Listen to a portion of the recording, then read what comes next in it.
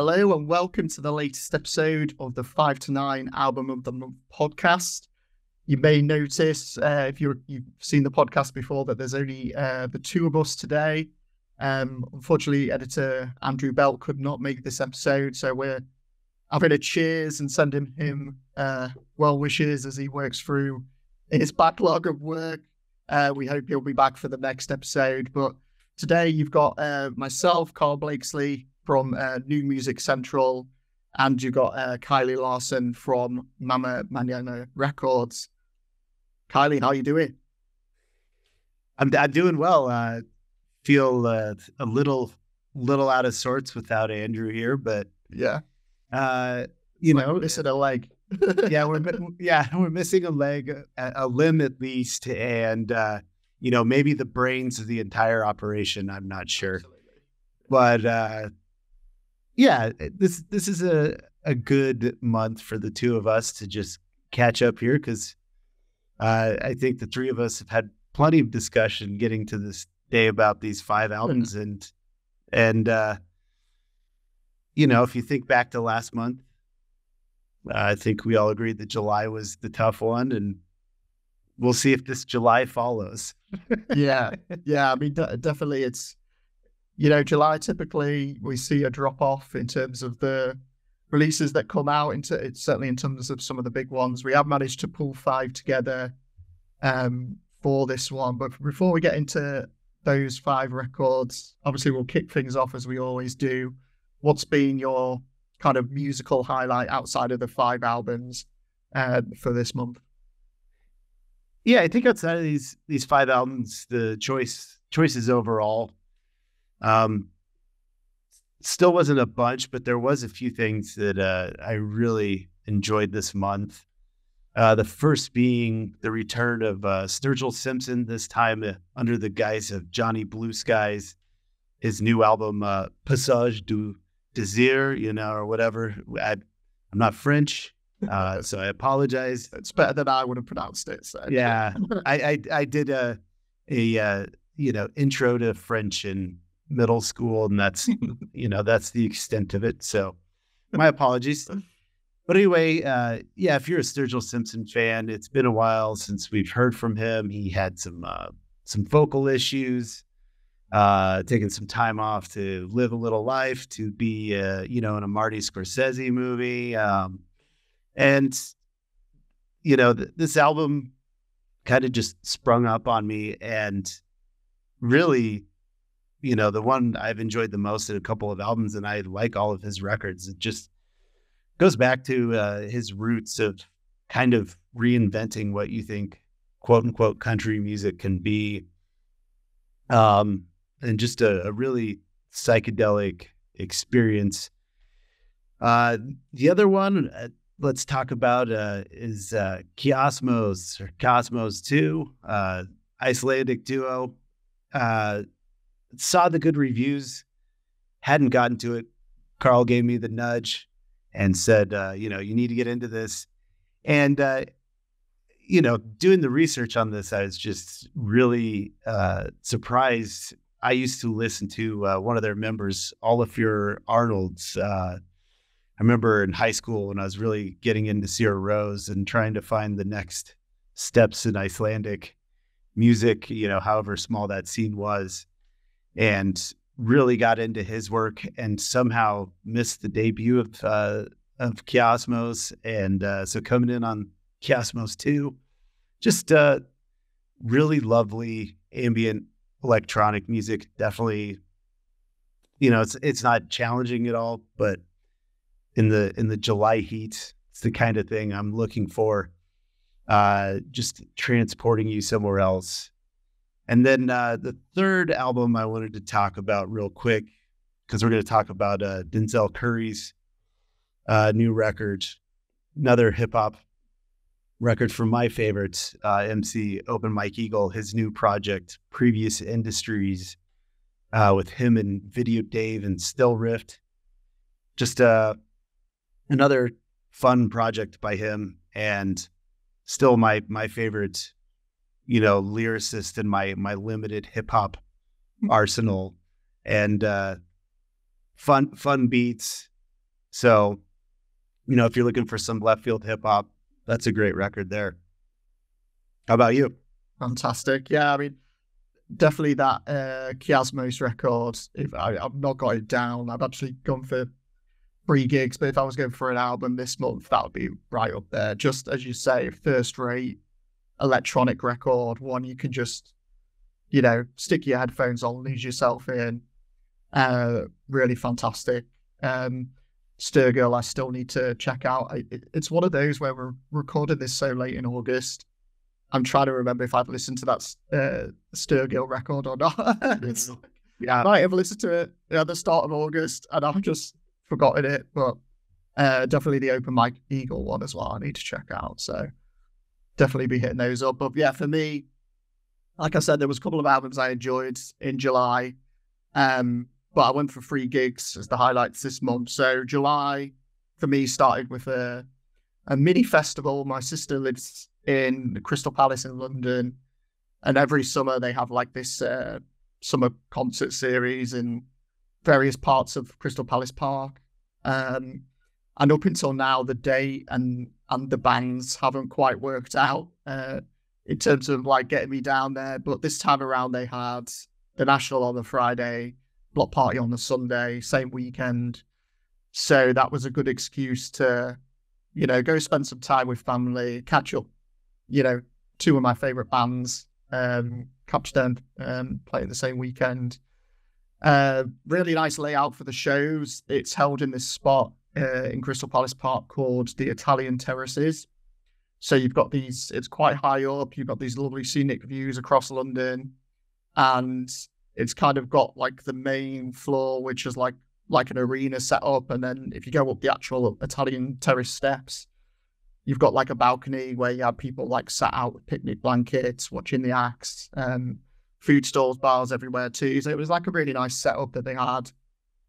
Um, National, I won't talk about too much because it wasn't too dissimilar to what I saw from them in Porto uh, a month earlier. But um, I will say there was a few more deep cuts this time around. They played Cherry Tree, Lit Up, Pink Rabbits, which um, if I have heard them before, it's very rarely you get to hear them play those those tracks. Very true. Um, so yeah, it was cool to hear those ones in there.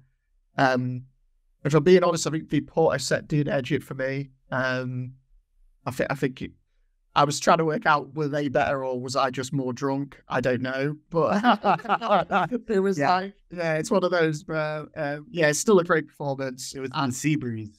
yeah, that's it. The beach air, that's what it was. yeah. Uh, but yeah, uh, what I did do is I achieved a lifelong dream of singing Mr. Mr. November with Matt Berninger literally in my face, uh, in my arms, and it was just like surreal, just an incredible moment.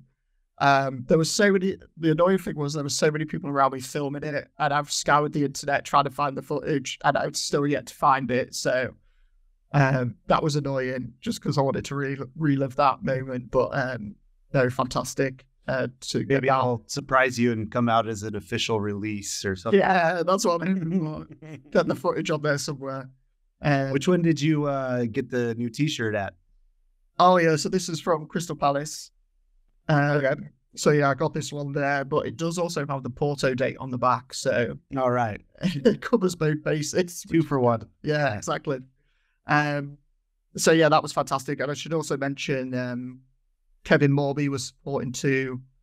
Uh, another big reason why we box, and you know that was one artist, Kiley, that you obviously introduced me to, and forever grateful for that. Um, great to catch him again. Um, fantastic. Did all the this is the photograph stuff, and and yeah, just really good. So that was uh, the national on the Friday. Then on the Sunday it was Bloc Party celebrating their twentieth anniversary, which obviously makes me feel so old. Uh, hearing that the uh, Yeah. celebrating 20th. I, I went to the uh, the zero year old tour. I went to that Definitely. Because it seems like last week. it's like where's the last 20 years gone but Yeah. um, but yeah great lineup supporting um supporting then they have the Mysterines who for i mean for me they were slightly underwhelming um especially compared to the hives and friendly fires who were both just fantastic. Really brought the party energy, got everyone suitably warmed up. Um, yeah, really great to catch those two. Um, but yeah, you could tell, you could definitely tell the difference between the bloc party show and the national show because bloc party was completely sold out, definitely busier about. Um, but yeah, just a real celebration, career spanning set.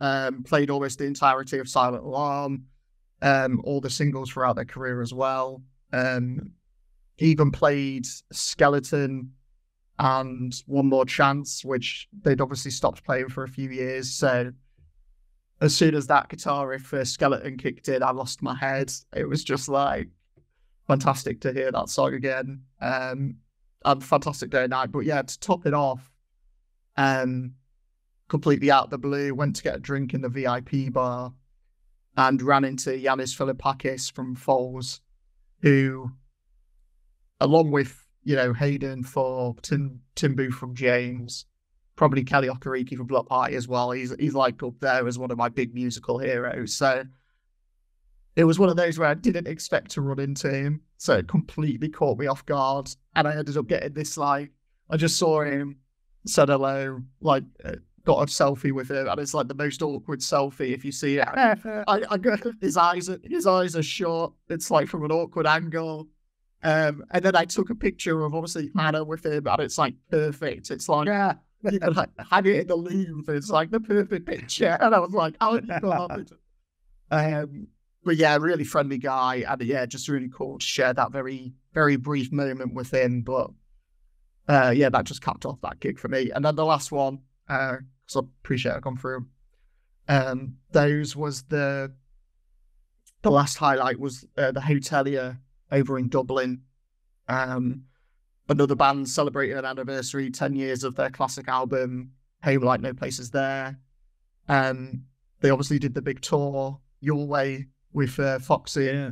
uh, which at one point, I was looking at flying over there to because it was like they didn't announce any UK dates. The only date that they announced was um, a festival in Manchester called Outbreak, which, to be fair, like the lineup was fantastic, but it was a lot of bands that I've seen recently. Um, so it was one that I just couldn't couldn't quite justify, you know, the travel, the hotel on top of the ticket, which I think was, I think it was 170 pound for the if you were doing the weekend. So it it was one of them that you know I kind of wrote it off. I'm not going to see the Hotelier this year, but luck would have it.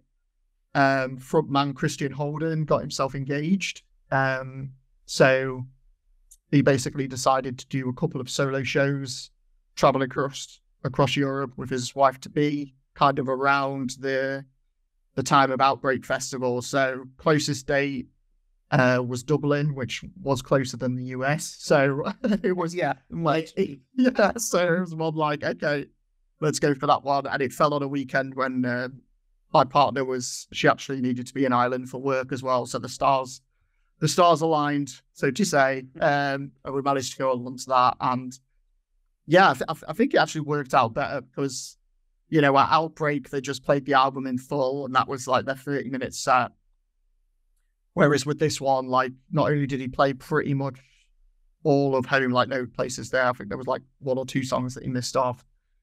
But we also got the songs from Goodness, which for me personally, that you know, that was my album of the year in 2016. I love that album just as much.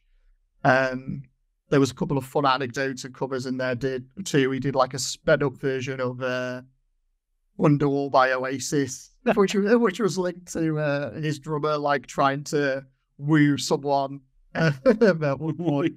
Um, did a cover of Avril Lavigne's uh, "I'm with You," which I think they did for radio, one of the radio stations at one point, um, which was really good. But yeah, it was it was just one of those, you know, tiny little pub, a band that I have so much admiration for. So it was just a really special sh- show to see them in, you know, such an intimate space. And yeah, that was my Not quite succinct, but yeah, three highlights highlights for this month. Yeah, I mean, Hotelier, I, I, I still need to see them myself. And you mentioned too there, uh, Foxing. We we had uh, listened to the new new single, that could be a September option there. you know. Yeah. trying to figure out September because while July is lean, September is, you know, just about the biggest month. of the year. Yeah, we, we could easily do two two or three podcasts, I think, on the stuff Yeah. coming out in September. Um, But uh I love the spirit of an eight minute lead single, you know? Yeah. Foxing. yeah, definitely check out that Foxing single. Uh, yeah. video video Great, it, great low budget video. Yeah. Yeah. Um, but yeah, so that was our monthly highlights. We'll now move on to the five albums. So if it's your first time watching the podcast, um, each month we pick five albums. Um, well, we, we pick four albums. Then one is chosen by a poll over on, uh, you know, Instagram, Twitter, um, which makes up our block of five. We then discuss them, rank them, and one at the end of the podcast will be named as our album of the month. So kicking us off for July, um, much belatedly, is uh, yeah, King of the Mischievous South, Volume Two by Denzel Curry. And Kiley, this was your pick this month, so why don't you kick us off? Sure. Yeah. I had, mentioned in the uh, earlier months highlights, you know, Open Mike Eagle and my my limited arsenal of you know must hear hip hop um, people that I have, and Denzel Curry's one of those. Um, you know, I, I really came in with uh, Zoo, went back to Taboo, and uh, you know enjoyed Unlocked with Kenny Beats, all the iterations of that. Um, I I don't think I've ever seen an album released so many times after that. All, and all be so great as well. Like. Yeah, version 1.5, like it's Jackass with deleted scenes or something like that. Um, but yeah, anyway, and then 2022, uh, Melt My Eyes, See Your Future. I just, as much as I've loved all of his work, that was a top 10 record for me that year. Um, great beats, great features. So, you know, was was looking forward to uh, King of the Mischievous South Part Two. Um, and overall, I've really enjoyed this this album too. I, I guess we should call it. It's it's a mixtape, and Mm. for as much as uh, I could never figure out what a mixtape and an album is anymore, this one definitely uh, has a mixtape feel. Um, you know, it's it's not necessarily very cohesive, kind of all over the place. You know, I was looking at production credits. I feel like, you know, there's like 20 producers listed on this thing, and just a load of features. Um, pretty much every song has features from you know people you're familiar with to you know introducing me to some new some new MC MCs. So, um, yeah, I think w- where I really um, enjoyed this album was uh, in the samples and like really really getting into where you know these were coming from because you know Denzel Curry's from Miami, but kind of leaning into the the Memphis hip hop sound, trying to figure out what exactly that means, you know. And um so so I dug into like ultra shit, which is for I guess, you know, there's an intro, but that's really the opening track here. Mm. Um and it just had this cool almost vaporwave uh sample to it. And uh let's see, it was uh low key featuring MDB, which was like a Memphis underground hip hop group back in the early 90s. And uh, their song On That Devil Shit is where this song comes from. And, Nice. you know, when you go back and listen to like the original version, it's just like Denzel and uh, Kenyatta have just, you know, amped up the beats and the bass, but the melody of it's still there, which is actually a sample of Black Butterfly by Deniece Williams from 1984. So just you know, th- this is one of those albums that it it really is the beats that pull me in, and then I end up. Uh, for anyone out there that loves this stuff, whosampled.com is really handy for this. Um, because I I do not know this stuff off the top of my head. Um, Hot One as well uh, has another old Memphis uh, underground hip hop uh, group, Jim uh, Gimisum Families. Fear No Evil. So that one's cool. Uh, and then, you know, so some folks I wasn't familiar with, like uh, that Mexican OT on Black Flag Freestyle. Um, I guess he's a, a Texas uh, rapper that you know starting to dig back into his stuff and really enjoying it. Uh, you know, G's up. You get 2 Chainz, which you know I think he always lends some good, you know, mainstream cred to you know some otherwise obscure projects. uh, another sample I really enjoy is on uh, Sked, which uh, got you know NBA Jam. like so much fun when Denzel's just like you know spitting right there. Like hell yeah, NBA Jam. I'm into that. Um, and then uh, you know I really like the back half of this record too. Cole Pimps, fun with Ty Dolla Sign, mm-hmm. uh, Wish List, Ski Mask, the Slump God. Like there's just I don't know. It's uh, I mean how how long is this right? It's 34 minutes. You know, um, the intros, outros, interludes. I've never been really a fan of that that idea, so I could remove those. But otherwise, yeah, it's just a really fun um, summer hip hop record. I don't think I like it quite as much as uh, previous industries or the uh, the new Vince Staples record, but and it's definitely I, I, don't see it being like on a year endless like Melt My Eyes was, but if you understand it for what it is, it's a it's a fun mixtape. Then you know it it's an enjoyable experience. What do you think?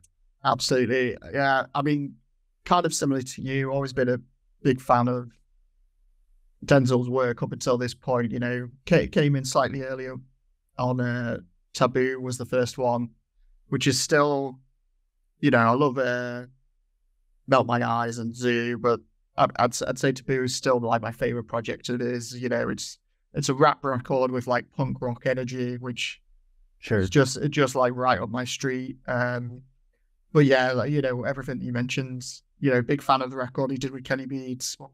It was kind of like, like you say, that and the multiple versions of that was like the standard, one of the standout hip hop records I think of the lockdown years. Um, and then yeah, melt my eyes as well. Wasn't you know wasn't quite into my top ten like it was your, yours, but certainly made it into the top fifty. And he's kind of one of those that you know I went into this with high expectations. He's he's one of those artists that just doesn't miss, and I think for the most part that's the case with this one. It, like you say, it's just another solid project from him. Um, I'd say my caveat for it is like you said, you know, he, he has set a high bar for himself, and I'm not sure this one because it is a mixtape. You know, it doesn't quite hit that high mark that he set for himself. Um, obviously, a lot more collaborations this time around, which I'm not sure if that's one of the reasons why. You know, I'm I'm not clicking with it quite like the others, but you know, the fact that it doesn't feel like a straight Denzel album in that sense. But um, you know, you mentioned Vince Staples there, but it's also for me, you know, it's a shame this came out at the same time as um, the JPEG Mafia record, which out of the two, you know, that is the one I find myself returning to. Denzel is actually on there as well, so it's yeah, and, and it, it, kind of it has that same vibe as tat, uh, Taboo. So it's you know, it's it's one of them where it almost feels more like a Denzel project than this one does at times, but uh, sure, yeah, I can hear that. Yeah, but, um, but no, I mean, all, all, that said, though, you know, like you say, thirty-five minutes, a lot of great tracks on here. It doesn't overstay its welcome. Um, ultra shit and set it. I think strong start, like you say, fantastic beats, great flow. You know, the one with 2 Chainz, G's up, just really minor with that. Ridiculous. It's yeah. just it's just a great summer summer hip hop track that you can bounce along to, get it on in the car, and you know it's just fantastic. Um, uh, Sked as well. You mentioned again, just super catchy. You know, Ty Dolla Sign, excellent feature as always on um, Cole Pin. Um, and that's uh, you know similar to you. That's probably the highlights for me. And you know, you mentioned the ones in the back end like wish list and um, is it hoodlums at the end, which I think I, I think I think they're fine. That you know, definitely, I think it's Hoodlums where you know there's some impressive bars on that one, especially. But yeah, it's it's one of them where I just don't find myself vibing maybe with them as much as the earlier cuts in the in the mixtape. But yeah, I, think I think I think for me this is one that in terms of in terms of Denzel's own catalog, it's maybe on the weaker end. But in terms of you know hip hop records that we've had in 2024, it's still probably quite quite yeah. up the higher end, um, like all his albums are. So for me, you know, still worth checking out. Um, but yeah, maybe maybe not his best. Um, obviously, Andrew is not on the the pod this month, but thankfully he is with us in spirit. So uh, he said, yeah, notes, yeah, he said through his uh, his uh, elevator lift kind of pitch for these albums. So uh, on the Denzel record, he said found it very moody, intriguing beats, not much in the way of depth in the lyrics, which yeah, I can agree with that. Yeah. Uh, but yeah, he still found it a nice, cohesive picture of songs. So I, th- I think we're kind of all on the same page with that one where, you know, enjoyed it, but maybe, you know, wanted a little bit more out of uh, Denzel on this one. So he's just that good. He is that good. Yeah. he's, he's ruined it for himself. yeah. so uh, that was our first record, in the Mischievous South Volume 2 by Denzel Curry. We're now going to move on to album number two, which is Django's High by Future Utopia. The reason I picked it is uh, this this band kind of came to me in a in a strange way. Um, I saw them on the Get Together festival lineup earlier this year. It was a festival I did in Sheffield, which is kind of like a new music festival. Uh, saw them on there. I listened to a couple of their singles as I was going through like the lineup, which I typically do. Um, and I must have enjoyed a couple of their singles at the time. However, it was it was a band that I didn't catch on the day due to clashes and you know the time of the day that they were on. So when it when I was looking at July picks, you know, I, I saw that they had this album coming out, so I thought, you know, I didn't catch them at Get Together, but this might maybe a good way to dive into their music a bit more. Should it end up winning the poll? So it was one of them that, to be honest, wasn't one that I expected to win, given that it was, you know, a fairly unknown record. Um, and considering, you know, some of the others, I can't remember what else we had on the poll, but I, I know definitely the ones that it was up against, it seemed like the outsider. But, you know, the people spoke and it somehow snuck in there. And um, yeah, we've had um, the pleasure of listening to this uh, album this month. Um, and yeah, I, I kind of start with the background. So, Future Utopia is the solo project of producer Fraser T. Smith, which is maybe not someone um, that I certainly was aware of his name, but when you start digging into his work, you know, it's certainly much more familiar. He's worked with the likes of Stormzy, Dave, Sabian, Adele, Kano, all these heavyweight kind of pop and hip hop artists, and loads of others as well. And from what I gather, Future Utopia's first record, um, which was titled 12 Questions, it's not one that I've um, listened to, but was from what you I gather. go back to it after the. fully enough, I think. it was one of them that, um, yeah, from, from the surface of it, it looked very much like a producer's record. He was like the curator, working with a load of collaborators on the tracks. You know, Arlo Parks was on there Kojey Radical gets Kano, Tom Grennan. Um, so although it was like the first solo project under the Future Utopia name, it was still more or less him working, from what I can gather, primarily as a producer. So with Django's High, this is very, this very much feels like almost like his debut solo project. You know, it's his, it's his vocals this time around. Um, he's not just the producer this time. You know, there's no place to hide, so to speak. And suddenly, yeah, I think I think it does suffer as a as a result of that. Um, you know that there are a couple of fun moments here. You know, Fra- Fraser sort of said that he wanted to make a psychedelic spaghetti western with this one. I think the opening track, "Looking for a Way Out," is probably the closest he gets to achieving that. Um, you know, it's got a you know quite a cool guitar groove running through it. Um, I think I think it's fairly decent opener. Um, I also quite like the last track, set, uh, Senin with Emin. Um, similar kind of melody. Um, again, quite a cool guitar groove running through it. But yeah, I mean, unfortunately, other than those two, this just feels it's it's it's funny because we'll go to Andrew's notes as well. Um, but yeah, this just feels like a pale imitation, I would say, of other great psych records we've had, not just this year, but in the last few years as well. Um, I don't think Fraser's vocals are the last decade. The last decade, yeah, it's uh, uh, it's yeah, it's I don't I don't think Fraser's vocals are strong enough. I think at times it feels like you know, the production on this thing, it's almost like it's purposely made overwhelming to drown out, you know, the flaws in his vocal work. That's how it feels when you're listening to it. And, you know, I, I don't think it's necessarily that these are bad songs, but all of it just seems to come and go without leaving, for me, any impact at all, which I think is somehow actually worse than if it was, you know, this is straight bad.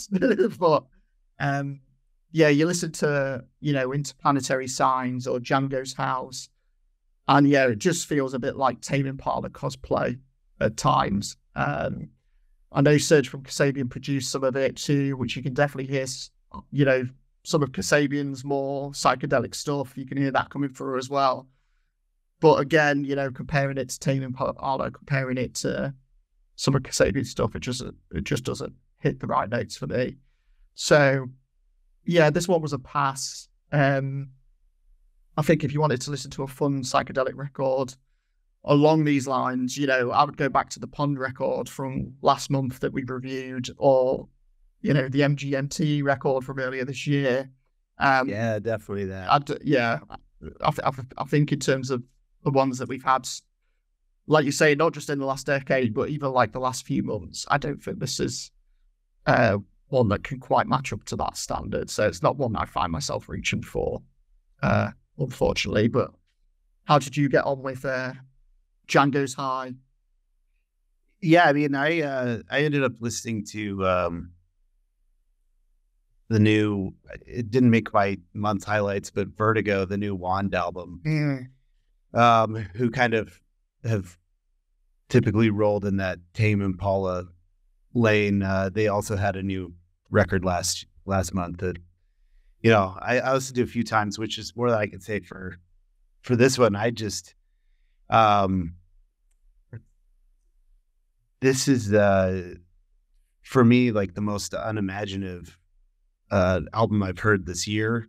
Um I've definitely heard uh ones that were uh, I, I, guess more boring or didn't do absolutely anything. Um, and as he said, I do appreciate, you know, this is a producer's album. He is trying to do a lot at once here, but I just, I cannot um, shake that every one of these songs has, you know, either uh, Khruangbin or Tame Impala, very, very influenced uh, melodies and mm-hmm. vocal practices and i just uh both of those those groups i know you know tame impala is one guy um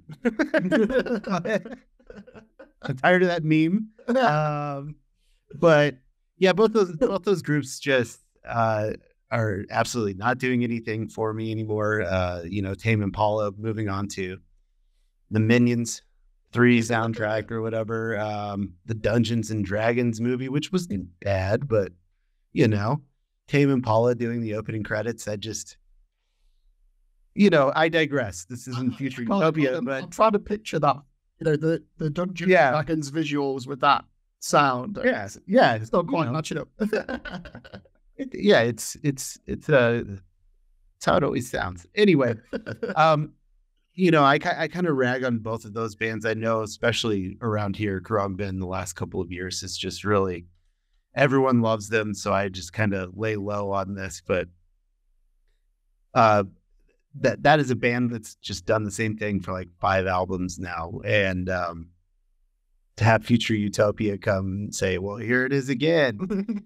um, here's here's a uh, lonerism again. Ten years later, it's just it's it's late to the party. It feels like a you know a a disco album coming out in the mid '80s or something like that. Like we've been there, we've moved on. So anyway, yeah, when it's when it's this, um, I agree with you. When it's this unimaginative, it's almost worse than just.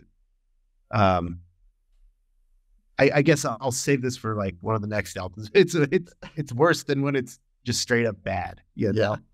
So anyway, yeah, I think the three of us, you could have nominated Cassandra Jenkins, but yeah, that that was my bad. Yeah, we got this. We all, we all do it. yeah, I can only apologize to yourself and Andrew for that one. uh, but, um, yeah, speaking of Andrew, so he sent through his notes for this one, and uh, pretty much the same the same as us. So slick, ultra produced, it's superficial sounding, not engaging at all. Vocals poor, lyrics minimalist. Most songs sound the same. Uh, you're gonna have to help me pronounce this one. I know you just said it. Khruangbin. Khruangbin. Yeah. Um, and Tame Impala, but way worse. So he's, you know, future utopia maybe maybe sticks the production is maybe the the message there. But yeah, you know, he's he's obviously got this passion project. He's got it out of his uh, system, and thankfully, we don't have to listen to it anymore. So um, that was, uh, yeah, Django's High by Future uh, Utopia. And we'll now move on to the third album, which is As Above, So Below by Highly Suspect. And this was Andrew's pick for the month. So I might just start with, uh, I'll start with his notes because um, this was the one that he picked. Um, he's obviously the most familiar with Highly Suspect. He put a fun classic rock throwback, generic lyrics, not Highly Suspect's finest, but perfectly passable all the same. First half of the album better than the second half. So it sounds like, you know, he enjoyed it without being blown away by it. So where did you land on this one, Kiley? Um, I hate this record. uh, two for two. Yeah. Look, just from the top down, I, I'm always talking labels and and uh, I'm I'm a big label guy, and that's the first thing I'm going to look at when you know when something comes up. And um, Roadrunner Records, since I can remember, has always been that's not my kind of thing, you know? So I, I don't have any experience with highly suspect before this. Um, and it's understandable why I, I know that there's a, a huge audience for this kind of music, eh, you know, and I, I look through like the similar artists and it's Chevelle, Seether, um, Shinedown, Three Days Grace, like Stone Sour. It's just never it's never been my thing. Yeah. Um, and just this, my my first experience with uh, these guys. This is just more uh, butt rock for jumping out of a helicopter. You know, this is uh, it. It does absolutely nothing for me. The the riffs, I guess, are just a lot of why I guess modern quote unquote heavy rock is not my thing. Um, it, in a weird way kind of reminds me of like where the Foo Fighters have been in the last, mm. you know, however many years. It just it it doesn't do anything for me. And then to to top it off, these are uh, you know I I didn't write them down, but every song consistently has some lyric at least once that makes me just go, "Holy shit, that's the worst thing I've ever heard." the next song um, does the same. It, it's also entirely too long. Um, the first song is six and a half minutes, and I love long songs. I'm you know, for better or worse, a Deadhead. I love good jams, but the that first song, every time I put it on, it's like at the four minute mark. I'm just like, oh my god, still another two and a half minutes to this. Uh, Melatonia, that's seven and a half minutes. It's like the the last couple of songs just drag like crazy. Um, I will say the the one compliment that I had on it uh, is I thought, despite the lyrics, the lyrics were awful, but Mexico is kind of a fun, uh, groovy little tune, and really love the um, organ work on there. I wanted to credit whoever does that, but I when I was looking at the band, four of them are credited for playing synthesizers, so I don't know who's doing that, um, but I kind of like that that root sound works a little bit on that track. But um yeah, this is this is one that we we are taping this so late and I could not get into it through July. And this last week I have tried going into it like three more times just wanting to find something. and it's just it's awful. It's not my thing, so yeah. If you're into this, we're we're just on different pages. so Roadrunner Records, what you're saying is their output is highly suspect in more ways than one. yes, very much. Yeah. Yeah. So I mean I mean from my side, you know, highly suspect I have I've I've listened to them very briefly previously. Remember checking out their I didn't note down any of the lyrics, but hopefully some of these song album titles will give you an idea of what's on this album. So the the, the only highly suspect uh, records that I checked out previously is their awfully titled album, "The Boy Who Died Wolf," um, a few years back, uh, which you know, it's I enjoyed it without being captivated by it. I would say, and I think because of that, I had quite low expectations going into this one. And to be honest, I think I'm more aligned with Andrew, where I've actually come out, enjoyed it maybe more than I expected to. 100% agree on the negative sides. I think it's too long. The lyrics are, as you say, very corny, very cliched. More than one occasion, I found myself cringing so hard my skin was crawling. Um, but, you know, outside of that, if I'm kind of leaving my, you know, leaving my snobbery at like the headphones door, so to speak. Um, you know, the vocal performances from Johnny Stevens, I think, are decent. You know, he's got that classic rock and roll gravelly voice going on, and I think for the most part, it kind of works for the for the style that they're doing. Um, but yeah, I, I, think I think the star of the show for me here is is the guitar work. Um, you know, for me, there's no denying that this thing shreds. Um, even on the songs where I'm not completely won over, like again, awful title, Champagne at Our Funeral, and another awful title, Run for Your Death. I mean, uh, there is at least a solid riff, I think, on those songs that I can sink my teeth into, and you know, leaves me feeling somewhat impressed. So you know, in terms of highlights, Summertime Voodoo, I know you're not a fan of that song. I think that was a fairly fun opener.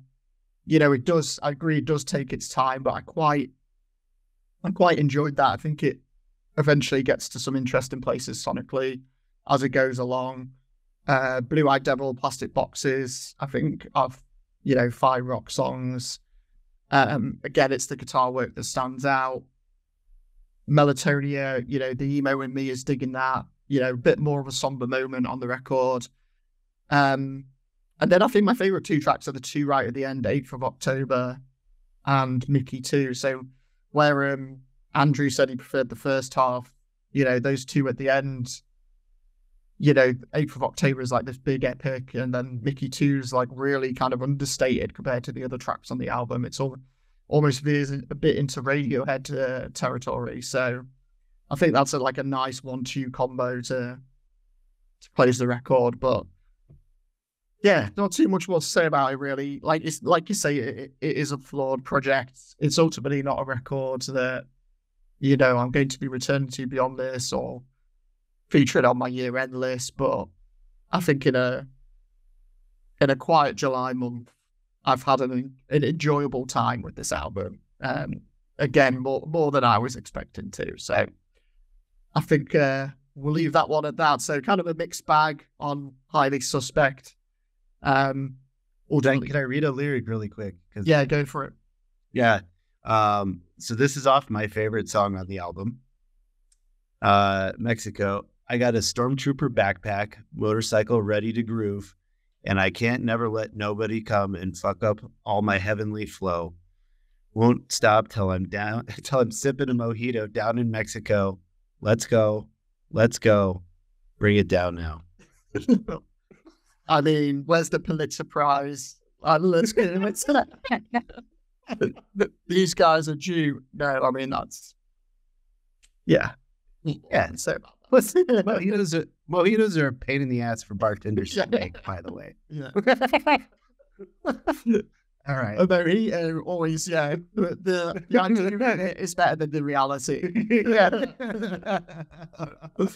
yeah, we'll leave uh, we'll leave highly suspect there, mojito making. Um, and we're moving swiftly on to uh, Harmonics, which was my pick, and it's by the mighty Joe Goddard.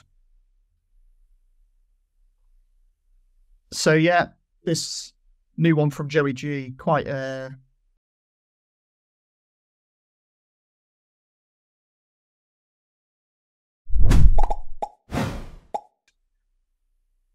certainly my favorite electronic band, but one of my favorite bands as well, Hot Chip. Um, you know, really enjoyed his last solo project as well, Electric Lines, that came out a few years ago. And it was one of those where, you know, I just looked at the guest list on this one. Ibibio Sound Machine, Alexis Taylor also a Hot Chip, my guy Hayden Thorpe. So it was it was a bit of a no brainer pick for me this month, and I, th- I think it's an album that you know kind of what I was expecting on paper. It basically lives up to that billing. I think it's a great uh, electronic project tailor made for the summer. Um, and you just get like a really great mix of songs on here. You know, opens on one of the singles, Moments Die, which could easily be just be a hot chip song. Just a really catchy little synth pop track. Great vocals from uh, Brooklyn singer Barrie. Who, yeah, Barrie, that's a great, yeah, great combo there. Guest stars on that, and yeah, that kind of sets a high bar straight away from me. And then you know, next up you've got Progress, which is the track with the Ibibio Sound Machine, and it kind of keeps the level right there. You know, the vocals from Eno Williams, you know, we, we spoke about the Ibibio Sound Machine records a couple of months back. Um, and particularly, yeah, her vocal performances, but again, just sublime. You know, those cries that she kind of does on the chorus, and then the horns come in you know, I think it's one of those that if it wasn't on this album, you could happily slot it into that Ibibio Sound Machine record from earlier on in the year. And just absolutely fantastic. Um, if you're a fan of, you know, Joe Goddard, and then I think you'll be very happy with that collaboration. Destiny is maybe where it slightly comes down for me after that. I think it's a very strong one two to start. Destiny is one that just borders a bit too much on Eurovision vibes for me. so uh, yeah, it's similar to that. Uh, I can't remember the, which Caroline Polachek song it was that I mentioned a similar thing, but it's just where it's got the you know that Eurovision DNA about it. Um, which uh, it's it's a fine track, but yeah, it's not it's not one that I find myself drawn to as much. But thankfully, what what follows is a song that's quickly becoming one of my songs of the summer, which is New World Flow, which it's one of those that just every time it comes on, I'm not skipping it. It's just fantastic. Such a jubilant, joyous chorus. You know, it builds on the verses and then it just unleashes this like flash flood of color on the chorus. Um, the land based singer songwriter Furious is the person who guest vocals on this and he's got this really soulful voice, just stu- stupendous um, vocal performance from him. So yeah, that's that's about out down my highlight. That song, uh, absolutely love it. Um, and then it again, it just really you've got this real kind of like so soulful dance tune, and then he Joe Goddard just flips the switch again, and you've got Love's Out of Fashion, which has UK rapper. I'm not sure how to pronounce this. It's either orange or orangey. or orange. Or, or orange, yeah. Uh, so um, we're fluent in French around here. Yeah, it's spelled O R uh, A N J E. So you make up your minds how how we should be pronouncing that one. Um, but yeah, just just another change of pace again, and I think that's that's what I say about this record. It almost it almost feels like a really well curated playlist. You know, every song kind of has a similar vibe, but also has its own unique flavor. Like it goes between, you know, these dance tunes, these synth pop tracks, this, you know, hip hop track that comes along, and it's just a, it's just a really fun project that, you know, I find myself because it because of the nature of it, I just find myself coming back to it. Um, plenty of other highlights in the back half. Obviously, love the track with Hayden. Um, they had they had a great standalone collaboration a few years back called Unknown Song, which this one's as good as that one for me. I would love to see them do like a full EP or an album together down the road. That would be a bit of a dream come true to see to see that. Definitely based on the two collaborations they've done to, so far. I think that'll be great. Um, the ones I enjoyed, Ghosts with Tom McFarland of Jungle. Um, I think that's great as well. It's a more it's more of a subdued track compared to some of the others on here, but again, um, really soulful vocals on that one. Um, and then the one right at the end, really love the track with jazz musician uh, Alabaster uh, or Deplume. I'm not sure how you. I'm, I'm going to say it's Deplume and not Diplom. but um, um, but yeah, really love that track at the end of the record. I think it's a nice way to round it off. Um, again, some good horns uh, kind of coming through on on that one, and I think yeah, everything else that I've not mentioned on here for me is between good and great. I think even the tracks where it is just Joe on his own, like Follow You, On My Mind. I think between all the awesome collaborations, there's some really nice like solo moments in there as well, which are just like these chilled out kind of ambient electronic tracks. Um, some really cool like vocoder and um, vocal work on those as well. So yeah, big fan of this one. I think it's for me, it's a perfect July record. Not too demanding or taxing. Really eclectic sonically. Like I say, it mixes up the style track to track, and it's like I say, it's got that like well crafted summer playlist feel to it. So, um, I think over the last month, certainly in July, it's the one that I found myself coming back to the most. So, big thumbs up from me. What did you uh, What did you make of this one, Kiley? yeah, likewise, big thumbs up from me. I don't know whether we, I know I didn't intend to have, you know, so many uh, quote unquote mixtapes and feature heavy records this month, but this is the one that for me, uh, Joe Goddard really ties it together. And as you say, it, it works as like a really great playlist that has, you know, been been played in every situation for me this last month. It's just uh, really diverse while, you know, not being um, overly challenging. And in that, in that way, I, I mean that as a compliment. Um, yeah, same, same background. Hot Chip is one of those uh, one of those bands that you know just reminds me of my early twenties and going to the, the club and dancing to you know their their can't miss hits. And I think they, I've never had a hot chip record I don't like, but I do feel that their last few have been so strong, um, just really hitting their stride. And then uh, the work that they did, like with the Ibibio Sound Machine, who you know returns here.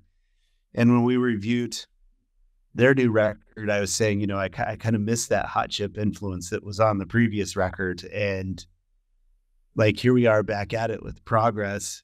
And I think it could fit on that new Ibibio Sound Machine record, but at the same time, I kind of like that more than anything. Yeah, it was on that record. Um, and then, you know, just getting into a few of them too. That that opener with Barrie, um, uh, a group that I had kind of forgotten about. I think their debut came out pre-pandemic, and one of those that I listened to a lot. And then, mm. you know, years happened, and I haven't come. So I, I enjoyed that enough to uh, add their, their sophomore record that I missed to my uh, listen list. Um, yeah, I really love the Findia feature. Um, and uh, I, I'm, I'm, I like all of it. I like all the the ambient tracks. Um, for me, uh, I kind of I like the last bit um, where there's you know Alexis Taylor and Al Doyle on on mountains, and mm-hmm. I really like uh, Ghosts with the with the jungle feature. Um, and then the one I don't know how to pronounce if it's Falle uh, Nioke, mm-hmm. you know, getting that that Afro groove on Miles Away. Um, you know, it's it's diverse but cohesive, and uh, you know, it's especially against the the list that we had this month. Um, it, it's an easy favorite for me, but I think you know if you throw it on another month, it's probably going to be finishing uh, towards the top for that too. So, hmm. yeah, just so glad that you know whether it's Hot Chip as a whole or Joe working on his own or uh, you know Alexis Taylor's solo work, they just don't. For me, they don't seem to miss, and they just get stronger with age. It's awesome. Hundred percent agree with that. Yeah, it's it's like you say, it's it's one of those records like real real great mix of stuff, but then Joe's just there to tie it all together, so it works as a as a whole as well. This is how you do a producer's album, right? Yeah, like this is this is the exact opposite of Future yeah. Utopia, big time. So that's what we thought. Let's go over to Andrew, and I think he had pretty pretty much the same. I don't think he maybe enjoyed it as much as us he said uh, generally decent club and dance tunes without necessarily being an absorbing listen.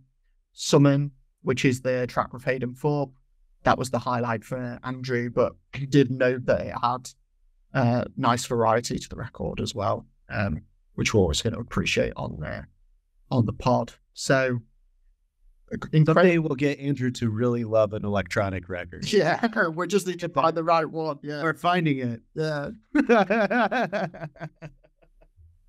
Maybe if it's got like a rock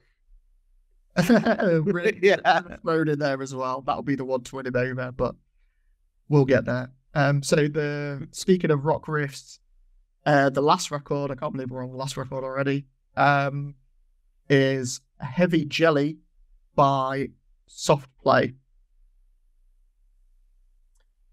And this was one that was picked by Matthew McLister of Blinded by the friend of the podcast. Um, so yeah, I'll kick us off with this one. I think I think of the three of us, initially, I think I was the one that was quite looking forward to hearing this one. Um, soft play, for those that know, don't know, formerly known as Slaves. Uh, if you want to know about the kind of name change there. Ask Bob Bob Vylan is all I'll say about that one. Um, but yeah, it was it was one of those that one of those bands that I was never massively massively into them, but did enjoy their debut record, and always had a great time whenever I caught them live. Um, I remember one time in particular. I think it was the first time I saw them was at Live at Leeds, which is like an inner city you know, venue to venue, um, festi- one day festival. Um, went along to Capstan there. Um, first time catching them, obviously full on, you know, just absolutely crazy. As we're leaving the venue, I see this guy emerge out of the mosh pit, shirtless, with what looks like a broken nose, like blood down his face, and but at the same time, just like the biggest smile like he was absolutely buzzing. So I think I think that kind of sums them up. That visual kind of sums them up per, per, per, perfectly. It's um, you know, it's ugly music, but it's also a lot of fun. Um, so yeah, I think I think I think the main reason I was quite excited is because I really enjoyed the singles leading into this one. You know, it is a bit of a comeback record. Um, I can't I can't remember off the top of my head. I should have noted it down when their last record was, but I know it's 2018. 2018. Yeah, so six years ago now.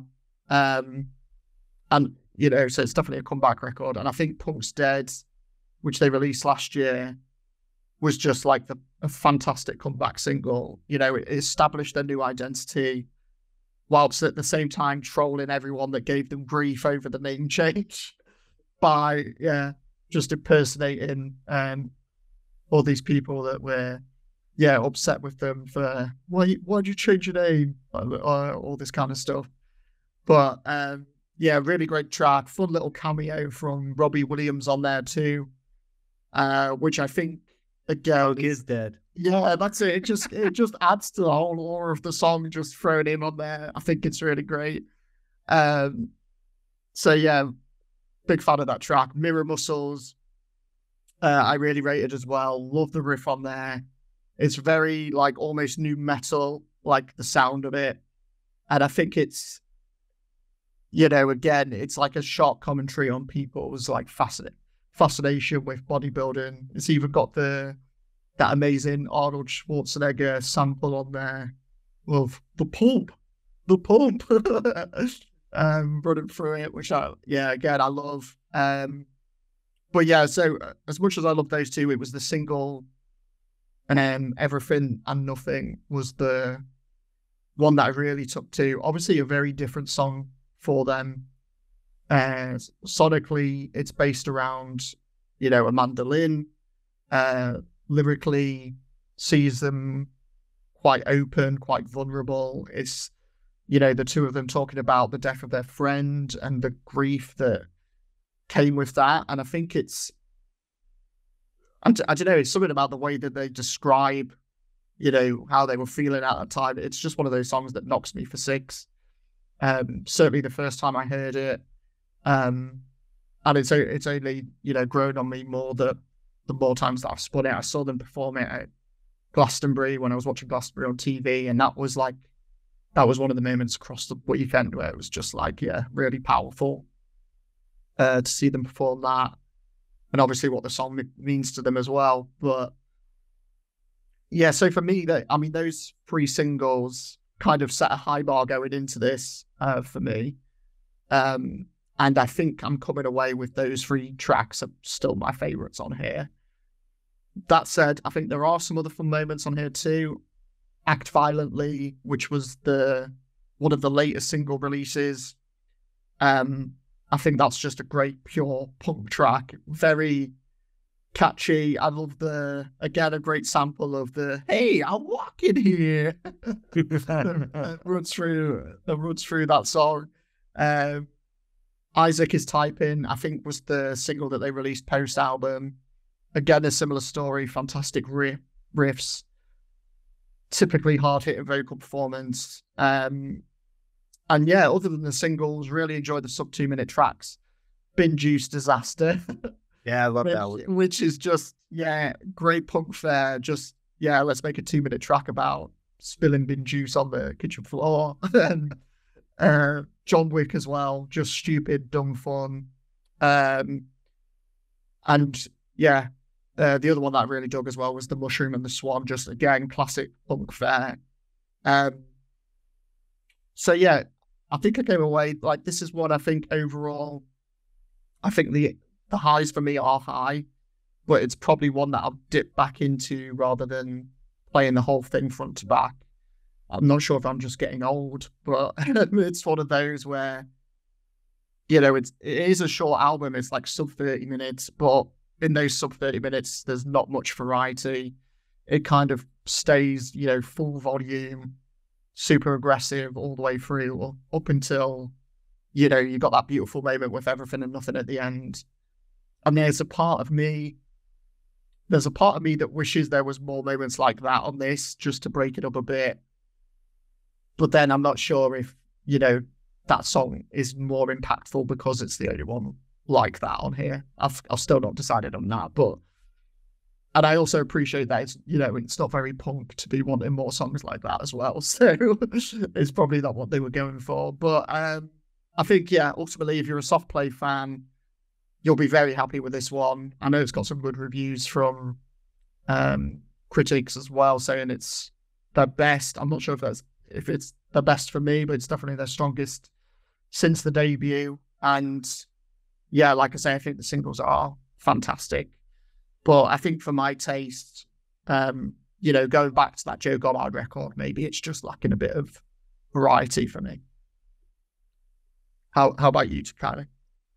Yeah, I mean, this is my first experience with soft play or slaves. I remember that they're one of those bands you read about them changing their name and as you know, wasn't familiar with them and that was that. Um, but yeah, I, I I'm gonna save the time. Like I agree with you that the singles are um the strongest, uh, though I do like Act Violently quite a bit. That one uh, gives me like a System of a Down kind of Yeah, feel to it, with the uh, I enjoyed. rapid. Yeah, Yeah. yeah, some Surge, you know. um, but yeah, Bin Juice Disaster, Mirror Muscles. I'm with you on all those, and I think the thing that you have to talk about here is everything and nothing, which is Mm. um, easily one of the best songs I've heard this year. One of the best songs I've heard in a long time. Really, like, you know, you listen to as much music as we do, and sometimes it's just, you know, it doesn't something doesn't hit you uh, more often than not. And that one, um, just to go from these punk tracks to going to uh, not only you know the subject matter about the the passing of their friend um but really like a you know out of time automatic for the people uh Mm. era R.E.M. uh kind of like a counting crows you know real uh early to mid 90s alternative sound that i don't think of all the 90s revivals that's like not really something that people are doing right now but that mandolin um it's just a it's a powerful song and I, i'm like that that glastonbury performance you know is is only better than what's on the album is fantastic but that live version you just Yeah. you really feel it and um you know you were saying i don't think it's punk to want more of that but i think like if these guys really want to be uh punk Mm. in spirit then maybe that's a teaser for another album to come because Big time. the the the the the fast rapid fire songs are great, but what they get there, the juxtaposition of his uh, you know, shout talk vocals with the the mandolin and stuff, it's just it's it's powerful stuff that Yeah. only comes along every once in a while. So for that that alone that song alone, like high remarks from me. Yeah, I, we just got mention like the. It's one of those where the lyrics on that song, I, it it just it's so raw. You know, white knuckles on the counter in the kitchen. They don't know how hard I'm kicking to keep my head Yeah. above. Like it's every time I hear that line, I'm like, God, that's just it. Just hits, and like you say, it's. You hear that vocal against the beautiful like sound of the mandolin, and it's just yeah. I'm 100 percent with you. It's one of the my favorite songs of the year for sure. Um, and yeah, so we're we're both quite a fan, certainly of the, the high points on this one. We'll go over to Andrew's notes. Um, he was um a fan as well. He did that. There was some that he didn't agree with, so he put relentless punk tunes, excellent guitar work at times, a few pretty funny songs, particularly "Worms on Tarmac." Yeah, definitely Yeah. obviously mentioned Bin Juice Disaster and John Wick, but yeah, that's another one that's quite fun as well. Um, not all that deep. Um, some songs seem like pale imitations of IDLES or Bob Vylan songs who tackle similar subject matter uh, subject matters a lot better. Which, yeah, I can I could sort of see that. I mean, t- definitely compared to the Bob Vylan record earlier this year. I think overall that's a much stronger record.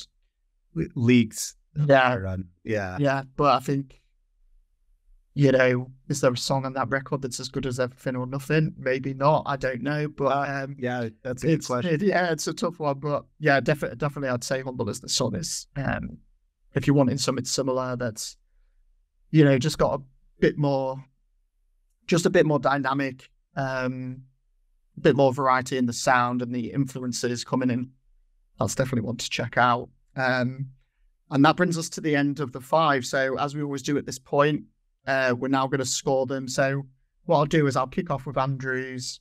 I'll go through mine, and then Kiley, you can decide what's going to be the July album of the, of the month. So um, I've got Andrews down here. So Andrew had in fifth place Future Utopia. He had in fourth place Highly Suspect. He had in third place Soft Play. In the second place, Joe Goddard. And in first place, his album of the month was Denzel Curry. Um, my ranking not too dissimilar.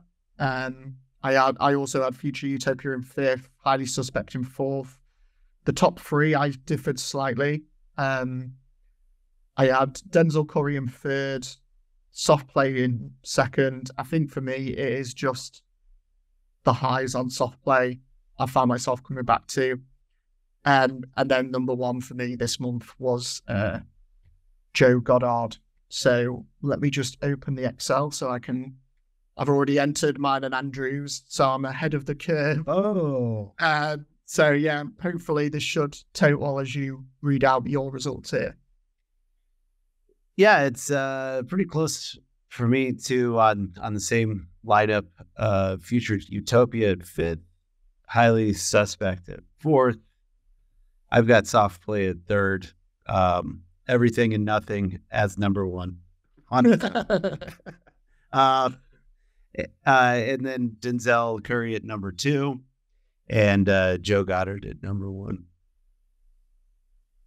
Excellent. So, as long as Excel has totaled that up correctly, our album of the month for July, with a total of an impressive 14, uh, is Harmonics by Joe Goddard. So, congratulations to Joey G um, for winning the coveted title.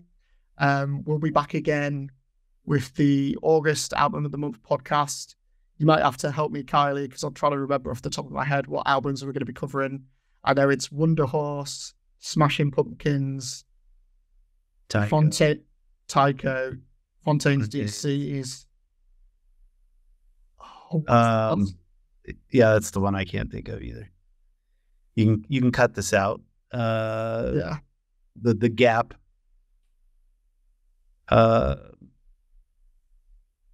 I'm thinking of some of the September ones we were. oh, Pom Poko. Oh, of course, yeah. So Pom Poko. But uh, yeah, yeah. There we So go. yeah, Wunderhorse, Pompoko, Tycho, Smashing Pumpkins, Fontaine's DC. Have I already said that? Um, so I don't know. that's our five albums for August. Um, if you want to keep up to with what we're doing, you can follow uh, Five to Nine on uh, Twitter or X and Instagram. Mama Mañana Records on Instagram, and uh, New Music Central on uh, Instagram as well. Uh, we'll put the links in the descriptions as always. And yeah, thanks for watching. Thanks for listening. And we'll be back uh, with another pod in August.